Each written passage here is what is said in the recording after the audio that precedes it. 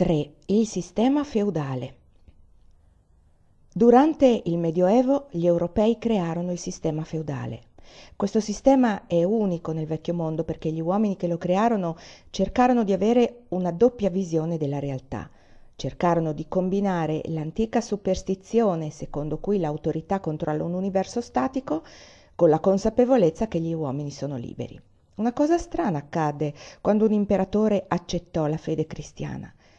Cristo proclamò la libertà individuale e dichiarò che questa verità avrebbe distrutto i regni e un imperatore, per rafforzare la sua autocrazia, esortava e obbligava i suoi sudditi a essere cristiani e a obbedire in nome di Cristo. Questa azione stupefacente è stata possibile solo perché gli europei hanno modificato la loro idea di cristianesimo. Il Dio di Abramo, Mosè, Cristo e Maometto è un Dio unico. I primi cristiani, così come gli ebrei e i musulmani, vedevano l'universo appunto come un universo, un'unità, una cosa sola, indivisibile. Vedevano l'essere umano come unità indivisibile. Dai vostri frutti, dalle vostre azioni sarete giudicati, scriveva, perché le vostre azioni sono voi. La fede senza le opere è morta. Un uomo agisce in accordo con la sua fede, una fede che non dà forma ai suoi atti non esiste in lui. L'energia opera sotto controllo e non può essere separata dal suo controllo, come può dunque esistere una separazione tra l'io di un uomo e i suoi atti, tra la sua anima e il suo corpo vivente. Quei primi cristiani erano pochi e come gli israeliti possedevano una verità che li isolava dal vasto mondo pagano come gli americani in un paese straniero, si riunirono naturalmente in piccoli gruppi. Per secoli questi piccoli gruppi furono dispersi, ognuno circondato da moltitudini di pagani. Hilaire Belloc, uno studioso cattolico inglese, afferma che nel III secolo un uomo che avesse studiato gli insegnamenti di Cristo e vi avesse creduto, vivendo sinceramente una vita simile alla sua, non pensava nemmeno di definirsi cristiano. Un cristiano doveva essere ammesso in un gruppo ristretto ed esclusivo per essere tale, doveva sottomettersi assolutamente alla sua disciplina ed era soggetto all'espulsione se aveva un'opinione che differiva dai decreti della Chiesa. Lenin copiò questa struttura e disciplina dalla Chiesa primitiva nella sua organizzazione dell'attuale Partito Comunista. Hitler l'ha copiata dai comunisti. È un metodo efficace che una piccola minoranza può usare contro una maggioranza schiacciante. Con questo metodo la Chiesa ha preservato la dottrina cristiana, con questo metodo la Chiesa è sopravvissuta nei secoli mentre il mondo romano crollava sotto la sua economia pianificata. La Chiesa è emersa da quel caos come l'unico gruppo coerente tra le rovine dell'impero. Nel frattempo i leader della Chiesa avevano dato forma alle dottrine. Quattro dei più grandi di questi pensatori sono chiamati padri della Chiesa. Il più forte, intelligente ed efficace fu Sant'Agostino, che per nove anni era stato un sacerdote manicheo. Durante tutti questi primi secoli cristiani, la maggior parte dei pagani europei erano manichei. Mani fu un riformatore che attaccò il più antico culto del sole, ne aggiornò le dottrine, per così dire, e investì l'Europa con un'ondata di entusiasmo religioso. Vedeva l'universo più o meno come era il mondo romano all'epoca c'era stata, diceva Mani, una catastrofe. Il dio Sole aveva un tempo tenuto sotto controllo le tenebre, ma ora tutto era mescolato in una confusione, in una battaglia. In tutte le cose la luce e l'oscurità, il bene e il male si stavano combattendo. La battaglia sarebbe terminata quando tutta la luce fosse tornata nel sole. C'erano scintille di luce in tutte le cose, compresi gli uomini. La funzione peculiare dei sacerdoti manichei non era quella di aumentare la luce negli uomini, ma di essere trasmettitori attraverso i quali Dio, il Sole, richiamava a sé tutto il bene, cioè la luce. In questo modo servivano sia il Sole che gli uomini, accelerando la fine della battaglia e dell'universo. Così i manichei vedevano la natura delle cose non come unità, ma come guerra tra opposti, guerra tra il sole e le tenebre, tra l'anima e il corpo, tra il caldo e il freddo, l'umido e il secco, l'alto e il basso, la destra e la sinistra, il nord e il sud. Insomma, guerra dappertutto, in ogni cosa. Sant'Agostino eh, servì questa fede come sacerdote del sole per nove anni, prima che le preghiere della madre cristiana di sua madre lo aiutassero a vedere la verità più grande nella Chiesa. Divenne cristiano, vescovo e il più influ- influente dei quattro padri della Chiesa. Quando l'imperatore Costantino iniziò a difendere la fede, la Chiesa era un baluardo in un impero in rovina. I vescovi vedevano l'universo come una lotta tra il bene e il male, credevano che l'intero mondo materiale fosse malvagio e che la Chiesa fosse l'autorità creata da Dio per redimere l'umanità dal peccato originale e per condurre e vincere la guerra del mondo spirituale contro il mondo materiale. Ogni cristiano europeo credeva in questa guerra tra due mondi e credeva che il suo corpo fosse nel mondo materiale e la sua anima in quello spirituale. Ha anche mantenuto la sua credenza pagana, secondo cui l'universo è stato creato ed ora è statico e controllato dall'autorità. Poiché tutti credevano che l'autorità lo controllasse e che fosse diviso in due parti, tutti credevano senza sorpresa che la loro anima appartenesse a Dio o al diavolo e il loro, cor- e il loro corpo al re o all'imperatore o al feudatario o al governatore. Papa Innocenzo III, che dopo le crociate rese la Chiesa il più forte potere in Europa e si avvicinò molto a stabilire una pace europea duratura, affermò ciò che tutti i cristiani credevano come dio ha posto due grandi luci nei cieli stellati una maggiore per presiedere il giorno e una minore per la notte così ha stabilito nel regno della chiesa universale due grandi poteri uno per governare le anime degli uomini e uno per governare i loro corpi per più di mille anni gli europei hanno vissuto in una costante lotta tra sacerdoti e baroni tanto comune per loro quanto lo è per gli americani la lotta tra politici al momento delle elezioni. Tutti i valori della vita umana che a causa di quel lungo conflitto in Europa molti americani considerano ancora erroneamente opposti ai valori materiali, tutti gli ideali, la moralità, il sentimento umano e il riconoscimento di fatti come la fratellanza umana e il controllo dello spirito sul corpo, la Chiesa li ha preservati, promossi e combattuti durante quelle epoche di miseria e degrado umano in Europa. Ma come si suol dire, in quell'epoca lo Stato controllava la Chiesa. La frase significa che i baroni comandavano più uomini da combattimento dei vescovi. Un vescovo aveva un vero e proprio potere sulle menti degli uomini perché si credevano che lo avesse, ma in battaglia non aveva alcuna possibilità di combattere contro un numero maggiore di baroni armati e di loro vassalli. Ora, se Dio controlla gli uomini, logicamente un vescovo, che è l'agente personale di Dio, non può essere comandato da un barone. Così, per secoli, i papi, con la logica dalla loro parte, e gli imperatori, con i combattenti dalla loro, hanno lottato per decidere la questione. La Chiesa controlla lo Stato o lo Stato controlla la Chiesa? A nessuno è venuta in mente una terza soluzione. In effetti, questa controversia continua ancora in Europa. È stata una delle cause della recente guerra civile in Spagna. Mussolini deve scendere a patti con il Vaticano. Hitler osa solo cautamente attaccare la Chiesa. La Chiesa d'Inghilterra è ancora esattamente questo. A un inglese è concessa la libertà religiosa, certo, può essere dissenziente se vuole, ma il governo raccoglie le tasse per sostenere la Chiesa d'Inghilterra e gli aristocratici nominano gli ecclesiastici. Non molto tempo fa gli americani sentirono alla radio l'abdicazione di un re d'Inghilterra e seppero che si era conclusa una lotta tra il re imperatore e l'arcivescovo di Canterbury. Anche negli Stati Uniti un'oscura pretesa di tutte le chiese di essere il governo è ancora riconosciuta nel fatto che le chiese americane, come tutti i governi, non pagano tasse. Nel secolo successivo, a quando Papa Urbano II iniziò a inviare i combattenti fuori dall'Europa, la Chiesa divenne il potere più forte.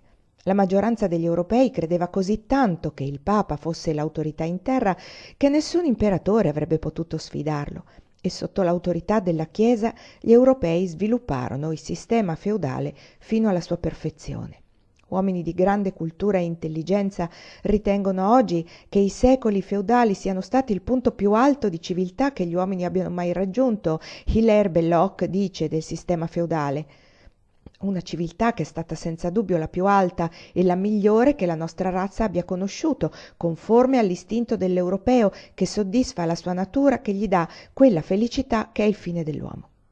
Per un americano è difficile immaginare quel mondo feudale. Sembra infatti un dato di fatto che nel sistema feudale l'individuo esistesse a malapena, persino nella sua mente. In un modo incomprensibile per gli americani, ognuno sentiva di vivere in due mondi. Nel mondo invisibile tutte le anime erano uguali, la misericordia e la giustizia di Dio erano uguali per tutti. Per Dio l'anima dell'imperatore non era più preziosa di quella dello schiavo e questo mondo spirituale era il mondo reale. Gli uomini sentivano veramente che questo mondo materiale era temporaneo. Un uomo pensava a questa terra e al proprio corpo come un americano pensa ai suoi vestiti. Presto li avrebbe gettati e sarebbe entra- entrato nel mondo reale, quello dello spirito. Nel mondo temporale Invece ognuno aveva il suo posto ed era tenuto ordinatamente al suo posto. Un uomo nato contadino rimaneva contadino, non poteva sforzarsi di essere null'altro, non poteva correre rischi, non poteva subire fallimenti, non aveva alcuna responsabilità sulle proprie sorti. Questa assenza di responsabilità, di ambizione, di fiducia nel cambiamento è anche un'assenza di molte cause di malcontento. Nel sistema feudale ognuno era il più sicuro possibile, il servo della gleba era legato alla terra che lavorava, non poteva lasciarla né perderla. La lavorava come gli era stato ordinato, la sua parte di qualsiasi raccolto inviato da Dio era fissata, non poteva rischiare né guadagnare né perdere nulla. Se un altro barone si impossessava della terra, il servo era comunque lì, al sicuro. Cambiava barone. Ognuno era sicuro, come lui, nella sua classe di appartenenza lavorativa, doveva un certo dovere alla sua classe e riceveva una certa protezione. La sua classe aveva un dovere nei confronti di ogni altra classe e riceveva da ciascuna un certo ritorno.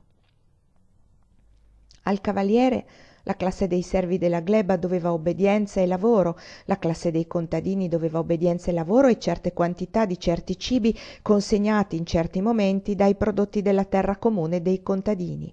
La classe degli artigiani, nelle loro varie corporazioni, doveva al cavaliere e al barone una leale deferenza e determinate quantità di beni di ogni tipo, tutto ciò che era necessario per le loro famiglie e le loro guerre. A queste classi lavoratrici i cavalieri e i baroni dovevano giustizia e protezione militare. I cavalieri dovevano al barone il loro servizio militare, il barone doveva ai cavalieri e ai paggi la giustizia, l'addestramento militare e la leadership. Al re il barone doveva il suo servizio militare, quello dei suoi cavalieri e vassalli. Il re era anche un barone. I suoi servi, i contadini e gli artigiani provvedevano alle sue necessità. A loro, ai suoi cavalieri e pagi e ai baroni minori del suo regno, il re doveva la giustizia e la guida militare. Gli individui agiscono in accordo con la loro fede, creano il mondo umano a immagine del loro Dio. Gli europei medievali credevano che l'universo fosse statico e immutabile, che Dio non fosse più il creatore, ma un'autorità di controllo e che nel mondo invisibile di Dio tutte le anime fossero uguali. Perciò introdussero nell'antico mondo pagano dei despoti e degli schiavi la conoscenza cristiana dell'uguaglianza umana e crearono il sistema feudale. Questo sistema non era così semplice in pratica come in teoria, era infinitamente complicato dalla natura reale degli esseri umani che non sono cellule di un'unica classe. Crearono ogni tipo di eccezione, ma allo stesso tempo con pazienza inserirono queste eccezioni all'interno del sistema. Nel XII secolo avevano cristallizzato i più piccoli dettagli del comportamento. Per esempio, un artigiano doveva al suo apprendista vitto, alloggio e formazione nel mestiere. L'apprendista doveva al suo maestro obbedienza e lavoro fedele, ma l'apprendista non poteva pretendere un letto. Il padrone poteva lasciarlo dormire solo sulla nuda terra. D'altra parte la moglie del padrone poteva mandarlo a fare delle commissioni, ma nessuno poteva chiedergli di lavare i piatti o di badare al bambino. Ogni relazione umana era regolata in modo così minuzioso. Nessuno doveva mai o poteva mai decidere cosa fare. Quello era un sistema sociale, notate la parola. Quando, parlando dei modi in cui gli esseri umani vivono e gestiscono i loro affari, si dice sistema, si intende proprio questo, o almeno il sistema feudale fu il sistema sociale più perfetto della storia. Aveva persino una valvola di sicurezza per rilasciare qualsiasi pressione di energia al suo interno. Un ragazzo eccezionale, ambizioso e dotato, poteva ottenere dal suo padrone il permesso di imparare a leggere e a scrivere e di entrare nella Chiesa. La disciplina ecclesiastica era severa, ma la Chiesa rappresentava il mondo spirituale e in essa tutti gli uomini erano uguali. Ogni sacerdote poteva diventare papa, il figlio di un servo della gleba divenne papa. Al di fuori della Chiesa, la struttura di classe era una struttura che gli uomini viventi non potevano creare né sopportare se non erano convinti che l'universo è statico e diviso in due parti non avrebbero potuto sopportare la sua stagnazione se avessero sospettato che il progresso è possibile. Si sarebbero ribellati alle disuguaglianze di ricchezza e di potere se non avessero sentito che questo mondo è solo una sala d'attesa da cui si va in paradiso. Il valore pratico del sistema feudale era la sospensione dei combattimenti. La guerra è la funzione essenziale di ogni tipo di governo i cui sudditi credono che sia l'autorità a controllarli. Così la guerra era la funzione essenziale del sistema feudale, ma l'autorità della Chiesa si opponeva alla guerra ed esentava le classi lavoratrici dal combattere. La guerra era l'unica ed esclusiva attività di cavalieri e baroni che vi si dedicavano rigorosamente, prendendosi solo il sabato pomeriggio per qualche giro di rapina.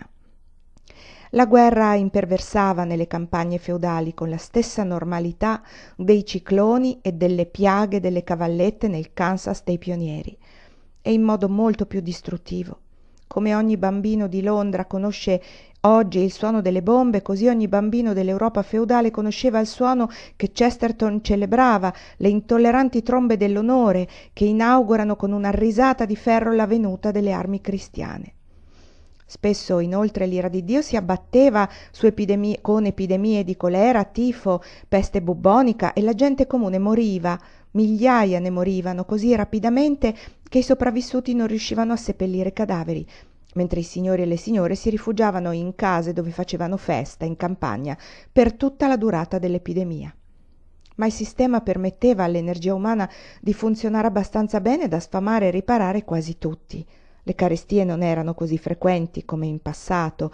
I borghesi e le loro mogli e persino alcuni contadini indossavano le scarpe nei giorni di festa.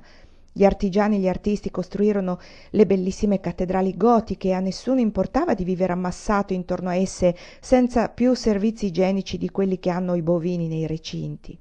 Questo sistema è stato davvero la massima espressione della civiltà europea, ma nella sua perfezione durò poco più di un secolo. Un'enorme quantità di energia andò perduta quando la peste nera attraversò l'Europa uccidendo in alcuni luoghi un terzo della popolazione e in altri più della metà, che ovviamente non aveva la più pallida nozione di igiene o di medicina. Poi dai saraceni gli italiani si fecero un'idea più precisa dell'universo e degli esseri umani. Picco della Mirandola predicava la dignità dell'individuo e diceva a te solo è dato una crescita e uno sviluppo che dipendono dal tuo libero arbitrio. In Inghilterra Ruggero Bacone scriveva un solo individuo vale più di tutti gli universali e Dio non ha creato il mondo per il bene dell'uomo universale, ma per il bene delle singole persone. I commercianti italiani stavano creando le loro città libere e i loro affari andavano a gonfie vele. Nelle città libere tutti facevano soldi e il tenore di vita era alle stelle. Eppure questi italiani immaginavano ancora un universo statico. Sebbene le loro energie stessero creando un mondo in continua evoluzione, le loro menti pagane credevano che la ricchezza fosse stata creata e che non sarebbe mai potuta esistere più di quanto esistesse nel loro tredicesimo secolo. Così, quando altri italiani crearono un'altra città libera nelle vicinanze e cominciarono a prosperare creando più beni e più commercio, i commercianti della città libera più vecchia radunarono i loro cittadini e attaccarono e assaltarono la città rivale, distruggendola completamente. Questo era il loro modo di gestire la concorrenza. Come se oggi gli abitanti di Chicago distruggessero Milwaukee, Detroit, Cincinnati, St. Louis o le città gemelle per accaparrarsi la loro prosperità, o come se la General Motors distruggesse gli stabilimenti della Ford per accaparrarsi una fetta maggiore del mercato delle auto che non si espande mai, poi l'energia della Spagna che l'autorità aveva riversato nella guerra travolse il sistema feudale europeo, che fu attaccato anche dai riformatori tedeschi. L'attacco tedesco alla Chiesa Non fu un attacco alla credenza pagana nell'autorità, la riforma fu una lotta per ottenere l'autorità. I tedeschi la iniziarono, i pensatori tedeschi sono sempre stati di mentalità pagana. L'impero romano non conquistò mai i tedeschi, che non impararono mai il concetto romano di legge. La Chiesa cattolica romana non li ha mai conquistati e non ha insegnato loro il senso feudale dei diritti umani. Non c'è ovviamente alcuna differenza umana tra un tedesco o chiunque altro, ma le persone che vivono in quella parte della terra chiamata Germania hanno sempre vissuto appena fuori dai confini dell'Europa il loro modo di pensare non è mai stato del tutto europeo. Così, quando la Chiesa quando la Chiesa cattolica divenne europea, la ribellione contro di essa nacque naturalmente dai pensatori tedeschi e si diffuse naturalmente tra il popolo tedesco e i suoi parenti tribali, gli olandesi. Ma non fu un vero movimento rivoluzionario. La riforma fu inizialmente uno sforzo per riformare la Chiesa, poi i leader dei gruppi di protesta, i protestanti, negarono l'autorità del Papa e dichiararono di essere loro l'autorità. Come tutti sanno, i puritani e i pellegrini portarono in America non la libertà di adorare Dio, ma una teocrazia che pretendeva di essere l'autorità che dettava la coscienza di tutti. Solo tre o quattro generazioni di europei vissero nel sistema feudale perfezionato, dopodiché sono nati in un'epoca di confusione. Le nuove idee erano ovunque, tutti discutevano su tutto, si diceva che la terra fosse rotonda, i protestanti dicevano che il Papa non era infallibile, i re cercavano di gestire i loro regni come se fossero di loro proprietà, i baroni che obbedivano alle usanze feudali ma non avevano mai obbedito a un altro barone si rifiutavano di essere comandati da un collega che diventava re. In tutta Europa i baroni e i re erano in lotta. Colombo vide l'India a ovest ma come? A ovest? Sì la terra è rotonda. Gli eserciti esplosero dalla spagna guerra nei paesi bassi guerra in francia guerra nelle germanie e i pagani attaccavano vienna. Il diavolo ebbe in mano tutti gli olandesi. Quarantamila e più vennero massacrati e bruciati sul rogo e ancora ci furono eretici. Il cielo aiuti un uomo che cercava di guadagnarsi da vivere in tempi come quelli questo fenomeno è chiamato ascesa della monarchia e ascesa del nazionalismo perché per alcuni secoli i re sconfissero i baroni ovunque nel continente europeo. Se sia la convinzione pagana che una qualche autorità controlli gli individui e la convinzione feudale che Dio collochi ogni persona al posto che le compete nel mondo temporale, si conclude naturalmente che un re che governa i baroni ha il diritto, conferitogli da Dio, di governarli e naturalmente di governare tutte le classi inferiori. Perciò gli europei continentali credevano facilmente nel diritto divino del re, ne conseguì che i figli del re, ereditando la sua natura divina, dovevano essere un tipo di essere umano superiore a tutti gli altri. L'equilibrio dei diritti e dei doveri tra le classi venne meno quando gli europei credettero che i re e i principi fossero partecipi della natura divina di Dio ma tutte le altre credenze feudali rimasero e rimangono ancora. La credenza che l'universo sia immutabile, la credenza nell'autorità, la credenza nelle classi sociali, la credenza che ci debba essere un sistema sociale, che il sistema sociale e il governo siano la stessa cosa e la credenza che qualsiasi cosa o chiunque controlli gli individui debba rendere tutti sicuri nell'ordine sociale. Sono tutte credenze feudali che gli europei moderni hanno iniziato a sostenere con passione dopo che i re assunsero l'autorità sul sistema di classi feudali. Infatti, quanto più il re cercava di imporre l'ordine sociale e il controllo della produzione previsti dai suoi ministri, tanto meno i sudditi furono in grado di produrre. Il tentativo del governo di controllare le energie degli uomini consumava sempre di più la ricchezza che essi producevano e sottraeva sempre più energia all'energia produttiva della nazione. Una nazione non è altro che un'area dell'Europa moderna, racchiusa da frontiere che sono limiti geografici all'uso della forza da parte di un governo. Quando i re, avidi di potere, ruppero il sistema feudale, rivendicarono per sé tutta l'autorità e la responsabilità del controllo e dissero io sono la nazione. L'idea della nazione Era un'idea nuova, ma i re, che distruggevano il sistema feudale, dovevano avere un'idea nuova perché tutti sapevano che governavano tutti coloro che potevano sottomettere con la forza chiunque, indipendentemente dalle razze, dalle lingue, dalle culture, dalle religioni o da qualsiasi altro terreno comune tra le persone governate. Un re, come qualsiasi altro uomo, deve avere una base su cui poggiare, una base religiosa se non esiste già, bisogna inventarne una, come Hitler oggi inventa il nuovo ordine, così i re e i loro sostenitori inventarono la nazione. Non c'è ragione più naturale o sensata per una nazione in Europa di quanto non ce ne sia per uno Stato di questa Unione. La Germania non è una nazione tedesca più di quanto lo sia il Wisconsin e la Louisiana è una nazione francese se la Francia può pretendere di esserlo. I normanni, i guasconi, i bretoni, i provenzali non intesero mai la Francia quando dicono il mio paese, intendono la Normandia, la Guascogna, la Bretagna e la Provenza.